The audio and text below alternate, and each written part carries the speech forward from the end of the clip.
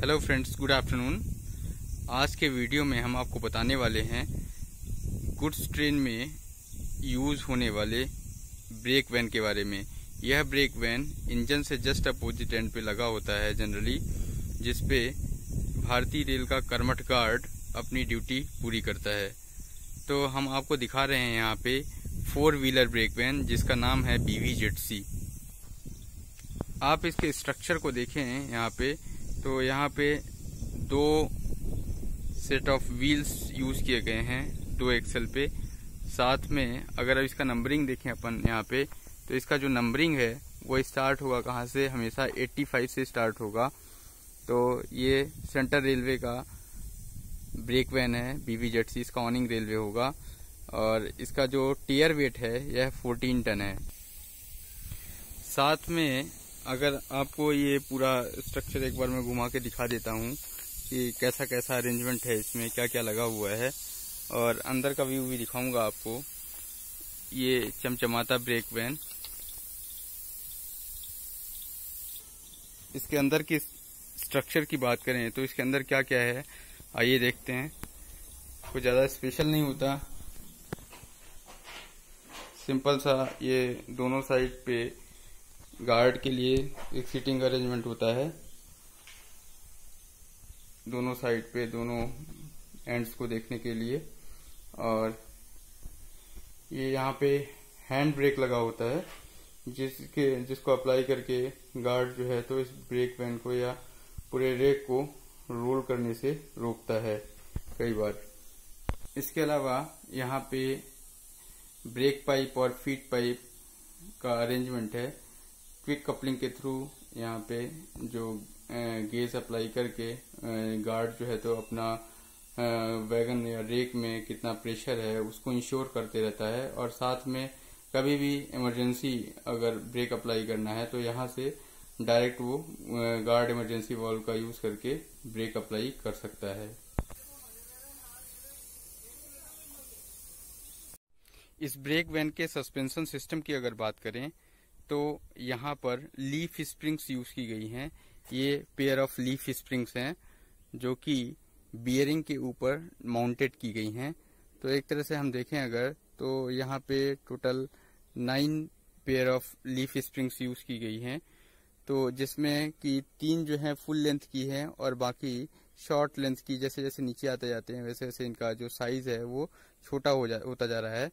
तो ये जो बड़ी लीफ स्प्रिंग्स हैं, इसको हम बोलते हैं मास्टर लीफ स्प्रिंग्स, और जो अदर लीफ स्प्रिंग्स हैं, इनको बोलते हैं ग्रेजुएटेड लीफ स्प्रिंग्स, जो कि एक यू बोल्ट और सेंटर क्लैंप के द्वारा पूरी तरह से क्लैंप हैं, और साथ में इनके दोनों एजेस पर हमने यहाँ पे रिबाउंड क्लिप्स यूज़ किए हुए हैं, ताकि ये इनको पूरी तरह से बाउंड करके रखे।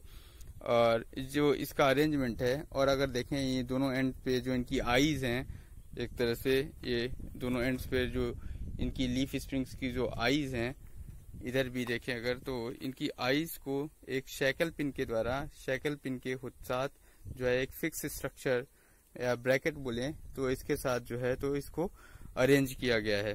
तो जब भी कोई शॉक और बम्प जब भी ट्रैक इरेगुलरिटी के कारण फेस किया जाता है इसके द्वारा तो ये इस, इसके थ्रू ये क्या होती हैं? ये जो सेमी इलिप्टिकल शेप की हैं, ये लगभग स्ट्रेट शेप में आ जाती हैं और फिर इस तरह से ये शॉक को एब्जॉर्व करती हैं।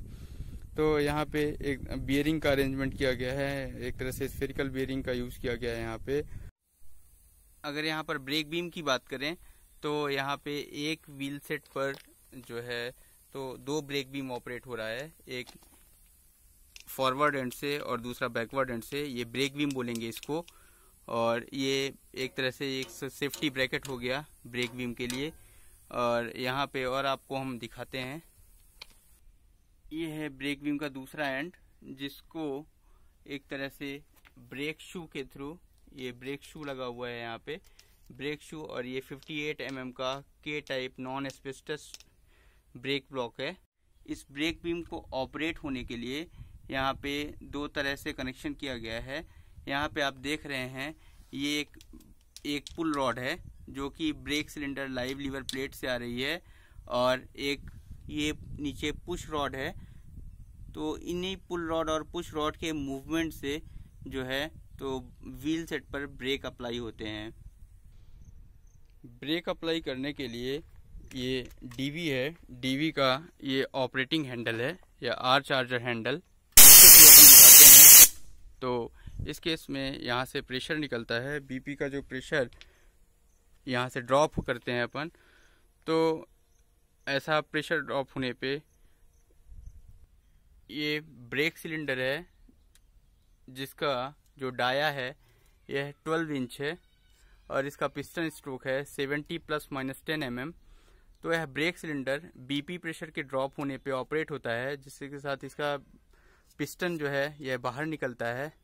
और ये पिस्टन बाहर निकलने पे आपको दिखाएँ तो ये जो लाइव लीवर प्लेट है, ये ऑपरेट होती है। और ये लाइव लीवर प्लेट अपने जस्ट रिवर्स की ओर जाएगी, इधर की ओर जाएगी, जिससे इसका मोशन फॉरवर्ड होगा और पुल रॉड आगे की ओर खींचेगी और पुश रॉड पीछे की ओर खींचेगी। तो इस तरह से दोनों पुल रॉड और पुश रॉड पुल रॉड के फॉरवर्ड और पुश रॉड के रिवर्स मोशन के कारण जो है तो दोनों साइड से ब्रेक ब्लॉक ऑपरेट होंगे। यही सिमिलर अरेंजमेंट जो है तो एक और प्लेट जो ये लाइव लीवर प्लेट है, इसके साथ में एक और प्लेट यहाँ से एसोसिएटेड है। तो जब लाइव लीवर प्लेट मूव करेगी तो इसके साथ ये भी मूव करेगा। तो सिमिलरली जैसे ये लॉन्ग पुल रॉड ये पीछे जाएगा और वो जो उसके साथ पिश, पुश रॉड है, जो एसोसिएटेड है, वो आगे की ओर आएगा। तो इस तरह से साइमल्टेनियस जो है तो इन दोनों व्हील सेट पर ब्रेक ब्लॉक लगेगा।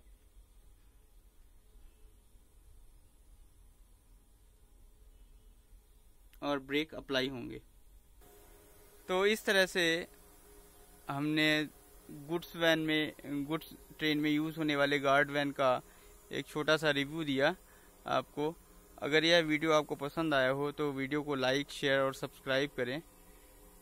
और भी आगे हम इसी तरह से आपके लिए वीडियो लाते रहेंगे। तब तक साथ बने के रहने के लिए धन्यवाद। आपका दिन शुभ हो।